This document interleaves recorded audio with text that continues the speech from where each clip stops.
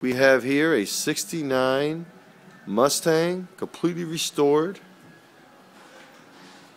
Work done in this thing, all completely painted over and fabbed out.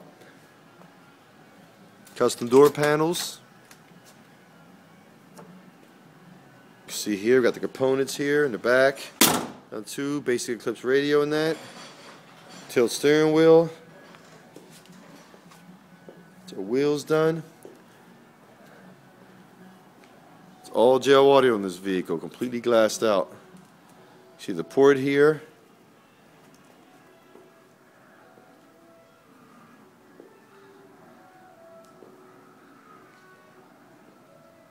One of Heinz Creations.